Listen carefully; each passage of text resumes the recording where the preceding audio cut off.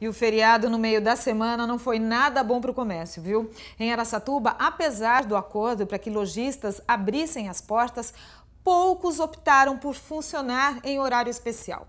Mais da metade das lojas deu folga para os funcionários. Por conta disso, o movimento nas poucas que ficaram abertas foi fraco. Em Rio Preto, a situação foi semelhante, assim como em feriados anteriores. Em Prudente, o comércio da região central não funcionou hoje. Na segunda-feira, Araçatuba e Rio Preto têm feriado municipal, o Dia da Consciência Negra, e nas duas cidades o comércio vai funcionar.